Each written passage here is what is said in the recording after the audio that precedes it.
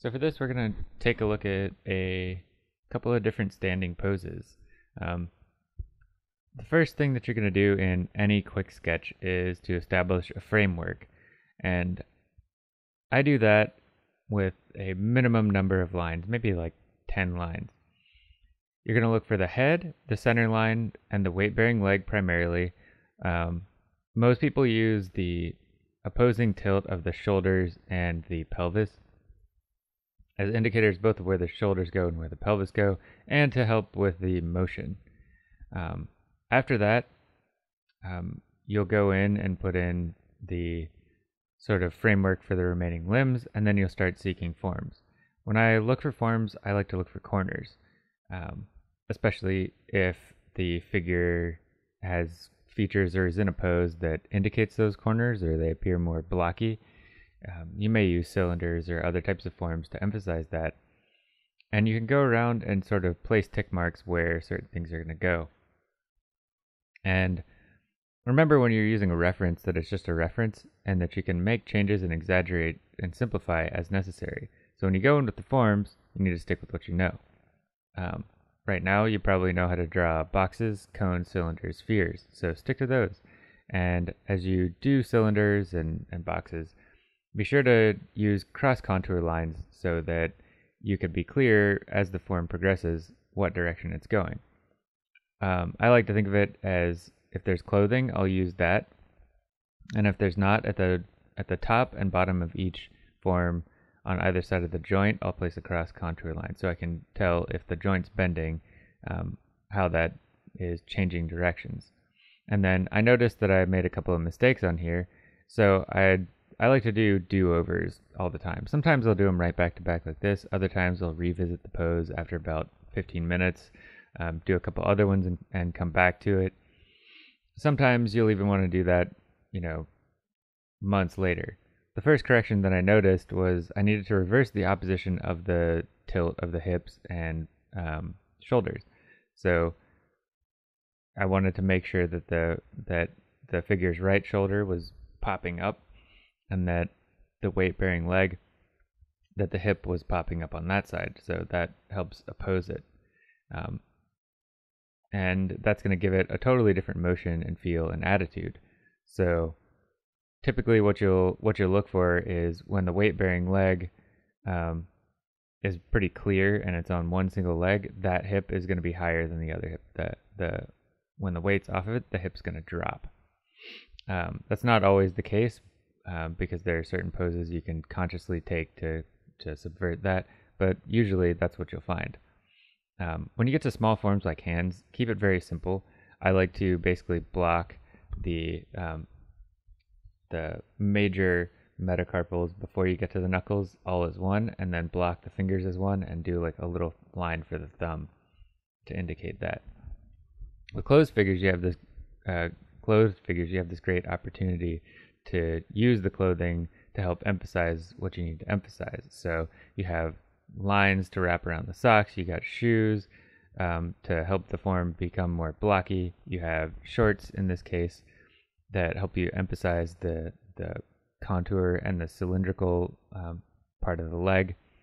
And here I'm moving the feet um, A, differently than I did in the first attempt, and B, differently than the reference, so that I can make it a little more clear how that feet's going, and it's exaggerating the pose a lot more, crossing the crossing the leg a lot more.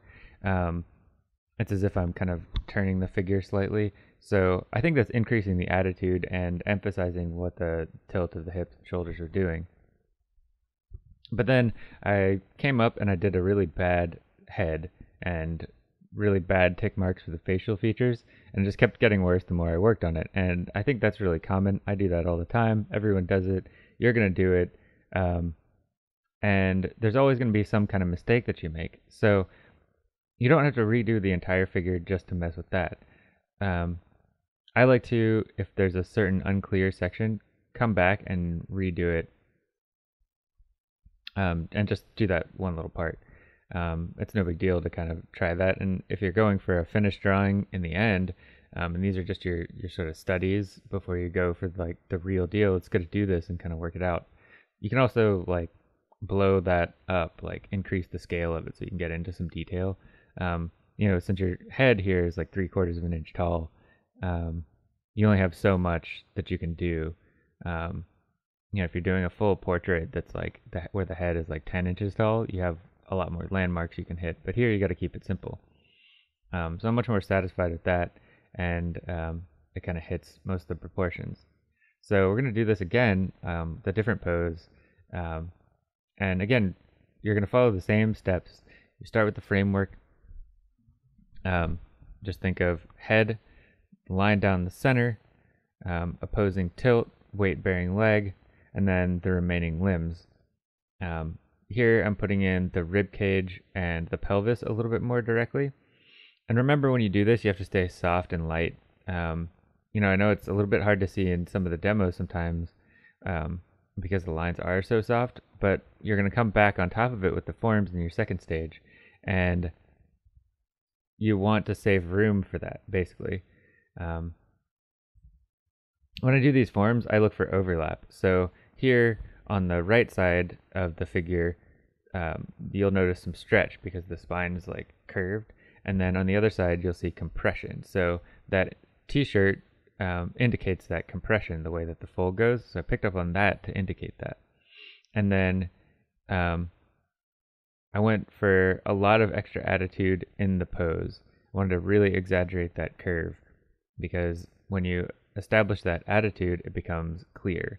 Um, if you're too subtle about it and you straighten things up too much, you lose that essence of the pose that you're trying to get across and what probably brought you to that pose in the first place or, or made you choose that reference in the first place. Um, so there's certain types of exaggerations that I think are welcome.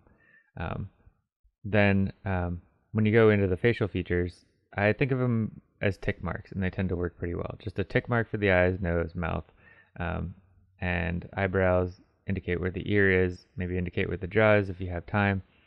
Um, but keep it simple and uh, and and small because you don't have a lot of room to work with. Like you can only draw lines that are so thin, and if they're off at all, you know, one sixteenth of an inch matters on on a three quarter inch drawing. Um, after this, you're gonna work into characteristic details about the figure and that you want to address. Um, you know, depending on where you're going to go with this, whether it's like fine art, super photo real stuff, that'll kind of change. Um, so the characteristics that I wanted to get across were kind of the hair, the overall attitude of the pose, the motion of the fabric. You know, it seems to be really windy and the scarf's going everywhere. Um, and then when you do a contour of a scarf, you know, be sure to break up the contours so that it's not just these sort of flat things that you get a little bit of dimensions of the folds and you get overlap with the scarf and the jacket and everything. And here I was kind of, I moved the scarf a little bit just to be sure that I could see both of the hands. Um, because if you cover that up, you're kind of just hiding some something that's a good opportunity. Um, and I wanted to make sure that I drew that jacket in and the jacket's overlapping that leg, even though I drew the leg first. Um, and that's why I kept that leg kind of soft. And then here, I wanted to be sure to get that um, jacket through the gap in the legs. Um, if you leave that out, it's going to look look weird in this straight in this subtle way, and you're not even really going to notice it. Um, but it'll just sort of bug you. So pay attention to things like that, those minor overlapping details. And remember as you do this that this is just a sketch. You're learning, you're trying things out. Um, so don't put any weight on any one sketch. Just do a sketch, you know, redo it if you need to, and then just move on. Um, it's not really a big deal. You know, I don't want to. I don't want you to put a lot of stock into any one thing, especially as you're learning. Um, but that continues as you grow and develop as an artist